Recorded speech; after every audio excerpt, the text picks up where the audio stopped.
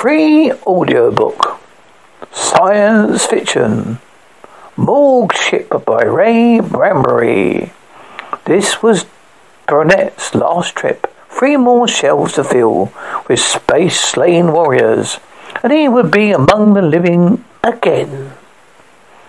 He heard the starport grind open, and the movement of metal claws groping into space, and then the starport closed. There was another dead man aboard the Constellation. Sam Burnett shook his long head, trying to think clearly. Plaided and quiet, three bodies lay on the cold, transparent tables around him. Machines stirred, revolved, revolved, hummed. He didn't see them. He didn't see anything but a red haze over his mind. It blotted out the far wall laboratory, where the shells went up and down, numbered in scarlet, keeping the bodies of soldiers from all further harm. Burnett didn't move. He stood there in his rumpled white surgical gown, staring at his fingers gloved in bone white rubber, feeling all tight and wild inside himself. It went on for days. Moving his ship, opening the starport, extending the retriever claw, plucking some poor warrior's body out of the void. He didn't like it anymore. Ten years is too long to go back and forth from Earth to nowhere. You could em- came out empty. You went back full cargoed with a lot of warriors who didn't laugh or talk or smoke, who just lay on their shelves, all 100 of them, waiting for decent burial. Number 98, coming matter of fact and slow, Rice's voice by the ceiling radio hit Burnett. Number, number 98, Burnett repeated. Working on number 90, 95, 96, 97 now. Blood pumps, preservative slate surgery. Half a million miles away, his voice was talking. It sounded deep. It didn't belong to him anymore. They said, Bah! Boy, boy, two more. Pick up some back to New York. Me and for a ten day drunk. Burnett peeled the gloves off his huge red soft hands, sat them into the floor incinerator mouth, back onto Earth, and spin around and shoot right out again on trail well rockets, and blast one another into Atlantic fury to sail up between gutted wrecks of ships, salvaging anybody still intact after the conflict. Two men, Rice and himself, sharing a cozy morgue ship with a hundred other men who have forgotten quite suddenly, however, to talk again. Ten years of it, every hour of those ten years eating like maggots inside, working out to the surface of Burnett's face, working under the husk of his starved eyes and starved limbs, starved for life, starved for action. This would be his last trip, or he'd know the reason why. Sam? Bucket, Burnett jerked. Rice's voice clipped through the drainage preservative lab, bound against glycerate retorts, echoed from the refrigerator shelves. Burnett stared at the table bodies as if it, they would leap to life when, even while preservative was being pumped into the veins. Sam, on the double up, the rang rungs. Burnett closed his eyes and said a couple of words firmly. Nothing was worth running for any more. Another body. There would have been 100,000 bodies preceding it. Nothing unusual about a body with blood calling in it. Shaking his head, he walked unsteadily towards the rungs that gleamed up into the airlock control room sector of the rocket. He climbed without making any noise on the rungs. He kept thinking of the one thing he couldn't forget. You never catch up on the wall with the wall. All the colour is ahead of you. The drive of the orange rocket traces across stars, the whamming of steel-nosed bombs with elusive targets, the titanic explosions, and breathless pursuits of the flags, and the excited glory, always a million miles ahead. He bit his teeth together. You never catch up with the war. You come along when the space has settled back, when the vacuum has stopped trembling from unleashed forces between worlds. You come along in the dark, quiet of death to find the wreckage plunging from all the fury of original acceleration in no particular direction. You can only see it. You don't hear anything in space but your own heart kicking your ribs. You see bodies even in its own terrific orbit, given impetus impetus by grinding collisions tossed from mother ships and dancing head overhead forever and forever with no goals. Bits of flesh and ruptured spacesuits, mouths opening for the air, and it never been there in a hundred billion centuries. They kept dancing about music until they extended the retriever claw and culled them into the air lock. That was all the world he got. Nothing but the stunned, shivering silence. The memory of rockets, long gone, and the shells filling up all too quickly. The men who once loved laughing. He wondered who all the men were, and who the next ones would be. After ten years, you would have done nothing. After ten years, you made yourself blind to them. You went around doing your job with mechanical hands, but even machine breaks down. Sam! Rice turned swiftly as Burnett dragged himself up the ladder. Red and warm, Rice's face hovered over the body, a spiraled enemy official. Take a look at this. Burnett caught his breath. His eyes narrowed. There's something wrong with the body. His experienced glance knew that. He didn't know what it was. Maybe it was because the dead, because the body looked a little too dead. Burnett didn't say anything, but he climbed the rest of the way, stood quietly in the grey metal airlock. The Yemeni official was delicately made as fine white spider. Eyelids closed were faintly blue. Hair was thin silken strands of pale gold waved and pressed close to veined skull. Where the thin-lipped mouth fell, while a cluster of needle-tipped teeth glittered. Federal body was enclosed completely in milk pale synthy silk, a hoisted gun at the middle. Burnett rubbed his jaws. Well? Rice exploded. His eyes were hot in his young, sharp-cut face. Hot and black. Good, good Lord, Sam. Do you know who this is? Burnett scowled uneasily and said no. It's a theatre, Rice faltered. But it said Lavina, and then, oh yes, Karina Bonjolimo. That's right. Don't say it calm, Sam. Say it big. Say it big. Athena is here in space, and Karina's not far away from him. Bet shrugged. More bodies, more people, more rule. What the hell? What the hell? He's tired. Talk about bodies and rulers to someone else. Rice grabbed him by the shoulder. Snap out of it, Sam. Think, Karina. Uh, the Mumbai in our territory, his right hand man dead. That means Korea has an had it was an incident accident too.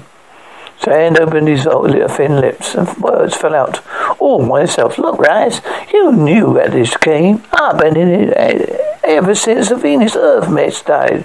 I've been seeing so him back and forth since the day you played hockey. Hooky, the tenth grade. I've been in the thick of it. When there's nothing left but seared memories, I'll be praying for the void, picking up warriors and taking them back to the gold green earth. Grizzly, yes, but it's routine. That's Korea, huh? If he's always around, he's smart. Every precaution's taken to protect that one. But later, his body must mean something. If it does, have we got guns aboard this small ship? Where are we, a battle cruiser to go against him? Well, radio for help, yeah. Is there radio warship around within our radio set range, 700,000 miles? We'll get we'll get it. Unfortunately, tide battle swept out past Earth, and you all concerning low, low. That's out, Rice. I stood about three inches below Sam Burnett's six foot one, jaw hard and determined. He stared at Sam, a funny light in his eyes. His eye fingers twitched all by themselves. He sighed. His mouth twisted. You're one hell of a patriot, Sam Burnett. Burnett reached out with one finger, tapped it quietly on Rice's barrel chest. How the cargo corpses for 3,000 nights and days and see how patriotic you feel. All those fine, muscular lads bloated and crushed by space pressures and heat blasts. My lads who stand out smiling and got the sun burned off down to the bone.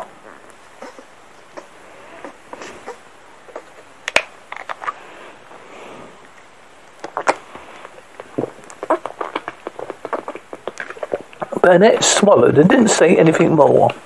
He closed his eyes. He stood there, swelling the death odour in the hot air of the ship, hearing a chug, chug, chug of the blood pumps down below, and his heart warming, waiting, warm and heavy at the base of his throat. This is my last cocoa, Rose, Raz. I can't take it any longer. I don't care much how I'll go back to Earth. This Venusian here, what is his name? Lilifa? Uh, he's nine, number 98. Show me into, into shelf 99 beside him and get the hell home. That's how I feel. Rice was going to say something, but he didn't have the time. Lilifa was alive. He rose on the floor with slow, easy movements, almost like a dream. He didn't say anything. The heat blasted white fingers did all the necessary talking. He didn't say anything either, but Burnett knew what language it would use if it had to. Burnett swallowed hard. The body had looked funny, too dead. Now he knew why. Involuntarily, Burnett moved forward. Lilifa moved like a pale spider, flicking his fragile arm to cover Burnett, a gun in it like a deaf, cold star. Rice sucked in his breath. Burnett forcing himself to take it easy. From the corner of his eyes, he saw Rice's pressure to go deep and tight, biting lines at his sharp face. Rice got it out finally. How do you do it? He determined a bit rewarded bitterly. How do you live in the void? It's impossible. A crazy thought came ramming down and exploded in Burnett's head. You never catch up with the war. And that's what if the war catches up with you? What the hell would Lefevre be wanting aboard a morgue ship? The Fiefler half crouched in the mist the smell of death and chugging of blood pumps below. In silence, he reached up with quick fingers, tapped a tiny crystal stud upon the back of his head, and halves of minuscule thin chrysalis parted transparent, transparent, transparent, transparently off to his face. He shrugged it off trailing air tentacles had been inserted, hidden in the uniform, ending in thin globules of oxygen. He spoke, triumphant, warmed his thin, crystal thin voice. That's how I did it, Earthman. Graysnite, said Arise. A face molded mask of Lefevre nodded, his milk blue eyes dilated. Very marvellous pad, tall and unbreakable thickness, a one thirtieth of an inch, worn only on the head. You have to look quickly to notice it, and unfortunately viewed as you saw it. Outside the ship, floating in the void, not discernible at all. Pickles of sweat appeared on Rice's face. He swore the Venusian. The vision laughed like some sort of string instrument, high and quick. But it laughed too, ironically. First time in years a man came aboard the Custodian alive. It's a welcome change. The thief showed his needle-like teeth. I thought it might be. Where's your radio? Go find it, snapped Rice hurriedly. I will. One hand blue veined on the ladder, rungs Lefevre uh, pulls. I know your weaponless purple cross regulations, and this lock is safe. Don't move. Whispering his naked feet, panted white up the ladder. Two long breaths later, something crashed. Metal, glass, and coils. The radio. Burnett put his shoulders blades against the wall metal, looking at his feet. When he glanced up, Rice's fresh, animated face was swelled by new bitterness in it. The Fiefler came down like a breath of air on the rungs. He smiled. That's better. Now we can talk. Said it slow. Interplanetary law there, there cares it straight, little Fiefler. Get out. Only dead men belong here. The Fiefler's runway tightened. More talk of that nature, and the only dead men there would be, you think, but first, we must rescue Kariva. Kariva, uh, I reacted as he knew been hit in the jaw, but it moved his tongue back and forth on his lips suddenly. His eyes lighted. Listening to the two of them as if they were radio drama, the fifth's voice came next. Oh, rather unfortunate. Yes, he's still alive. Heading toward Venus at an orbital velocity of 2,000 mph, wearing one of those air crystals. Enough air for two more hours. Our flagship was attacked unexpectedly yesterday near Mars. We were forced to take the lifeboats scattering Korea. I, and one, other sacrificing the knives to recover our escape.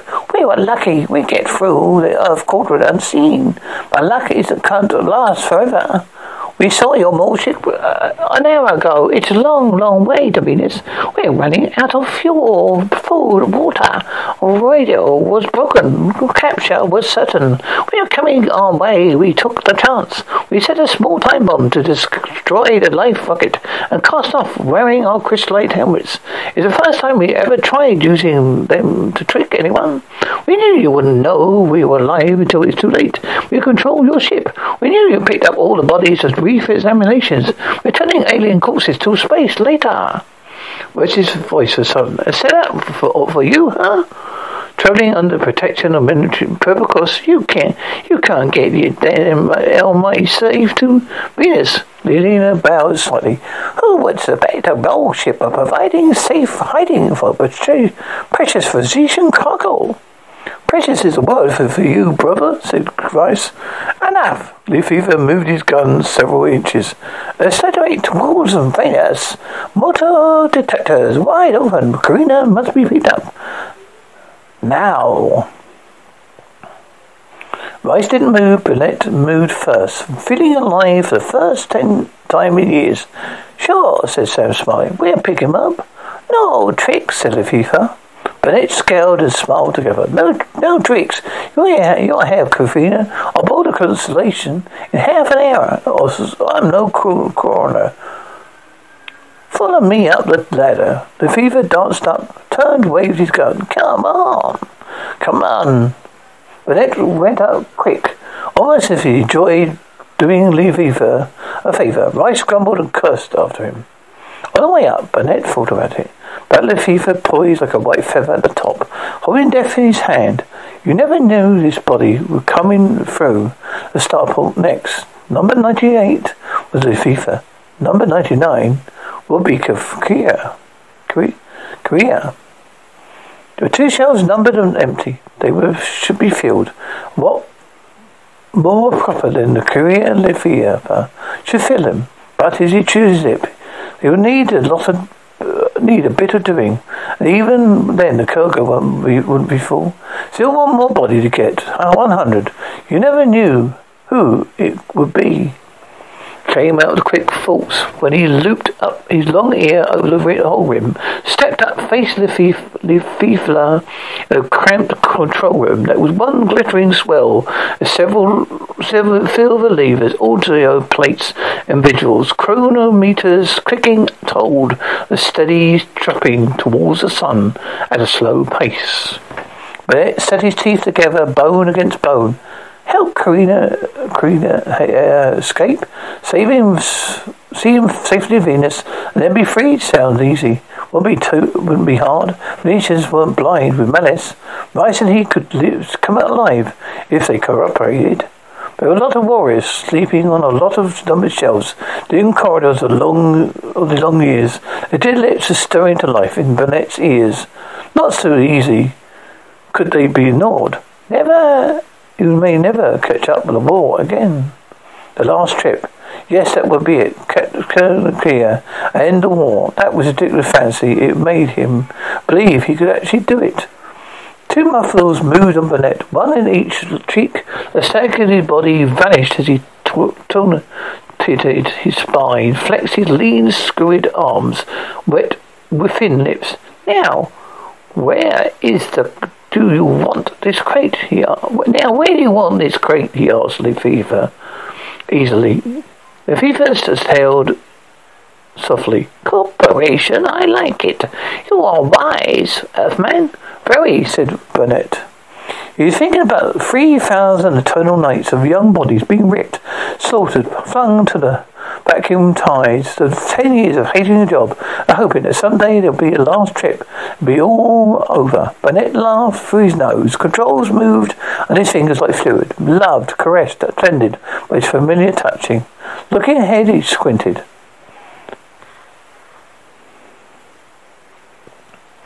There's your ruler now, Leviva, doing somersaults. Looks dead. Good trick. Cut the power. Why, we don't want to burn him. Burnett cut. Karina's milky face floated dreamily into the vigil serene. Eyes sealed, lips gaping, hands sagging, crouching emptily at the stars. We're about fifty miles of him catching them up. The Burnett turned to the FIFA with intent scowl. Funny, this is the first and last time anyone who ever boarded a Constellation alive. His stomach went flat, tourniqueted with sudden weakening fear. Karina would be captured. Mean the end of the war, the end of the shell stacked with sleeping warriors, the end of his blind searching. Korea then would be taken aboard. After that, Korea the Almighty, those behests of all space had quivered like a smitten gong for part of the century. Korea, evolving in his neat white water blue uniform emblems Embers shining gold, heat gun tucked in his glossy high jet holster. With Queen aboard, chances of overcoming would be eliminated. Now Rice and Burnett against Lee FIFA. Lee FIFA favoured because of his gun. Karina would make odds impossible. Something had to be done before Karina uh, came in. The FIFA had to be yanked off guard, shot, bewildered, fooled, somehow. But How? Burnett's jaw froze tight. You could feel a spot in his shoulder blade where Lefifa could send a bullet crashing into a rib. Suid, artery, heart. There was a way, there was a weapon, and the war would be over. This would be the last trip. Sweat covered his palms in a nervous smear. Steady, Raz, he said firmly, matter of factly. The rockets cut in too much silence. His voice sounded guiltily, standing up alone, centre of that silence. Take controls, Raz. I'm a bit this starboard. Burnett stepped from the control console, Rice facing grimly. Burnett strolled to the next level console levers. The neck, the spot on his neck came, kept aching like a sea a branded X for the place where the bullet sings and rips. If you think quick, catching it in the arm first, why? Karina loomed bigger, a white spider debris dancing a web of stars. His eyes flickered upon beyond the crystallite sheath and saw the crystal constellation. Karina smiled. His hands were up. He knew he was about to be rescued. Burnett smiled back at him. What Karina didn't know was he was about to end a ten years war. There's only one way to drawing the FIFA off guard, and it had to be fast. Burnett dropped the purple top stud.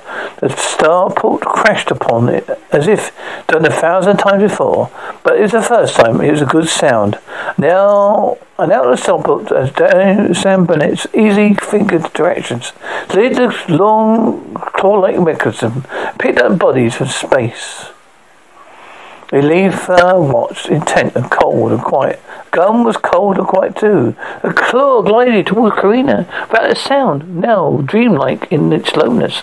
It reached Karina. Burnett inhaled a deep breath. A metal claw cuddled Karina. In his slimy palm, Lefifla watched. He watched while Burnett exhaled, touched another lever and said, you know, Leafer, there's an old saying that only dead men come aboard a constellation. Ah, believe it. The claws closed Burnett spoke, closed slowly and certainly, all around Karina, clashing him into the ridiculous posture of silence, the blood running on the claw. The only recognizable part was the head, which is carefully preserved for identification. There was any way to draw Lucifer off uh, guard, but it spun about and leaped. The horror of fetus face didn't go away as he fired his gun. Rice came in fighting too. But before something like a red hot ramrod stabbed Sam catching him in the ribs, spinning him back like a drunken idiot to fall into a corner. Fish made blunt noise, fish noises. The thief went down, weaponless and screaming. Rice kicked. After a while, feet quick screaming, and the room swam around Burnett's eyes. He closed them tight and started laughing. He didn't finish laughing for maybe ten minutes. He heard a retriever claws come inside and Starport grind shut. Out of the red darkness, Roy's face came, and then he could see Roy's young face over him. Burnett groaned. Royce said, Sam, you shouldn't have done that. You shouldn't have, Sam. To hell with it, Burnett winced, and fought to keep his eyes open. Something wet and sticky covered his chest. I said this was my last trip. I meant it. One way or the other. I'll never have quit. This is the hard, this is the hard way. But maybe I don't know. Kid, kind of nice to think of all those kids who never have to come aboard because constellation. No rise. Rise thrown off. You know the shells fill up. You never know who's to be next. Who would have thought four days ago? Something happened to his tongue. He felt like hard ice blocking his mouth. He had a lot more words to say, but only time to get a few of them out. Bryce? Yes, Sam. We have a lot. Got a few. We haven't got a full car, God boy. Full enough for me, sir. But uh, still not full. If we went back to centre base without uh, filling shells, we're all right. Look, here, there. Number 98 is the FIFA. Number 99 is Karina. 10,000 days of rolling this rocket. But once came back without a bunch of kids who wanted to sleep easy on the great good good. Uh, we're not right to be going back anyway, but the way we used to. His voice was full of fog, as thick as the fists of a dozen warriors. Rice was going away from him. Rice was standing still. Burnett was lying down, not moving, but somehow Rice was going away a million miles. Ain't I one hell of a patriot, Rice? There's everything got dark except Rice's face. It was starting to dissolve. Ninety-eight the FIFA 99 Karina. He still could see Rice standing over him for a long time, breathing out and in. Down on the tables, the blood pumps pulsed and pulse. Thick and slow, Rice went looked down at Burnett with the empty shelf at the far end of the room, then back at Burnett again. Then he softly he said softly, One hundred.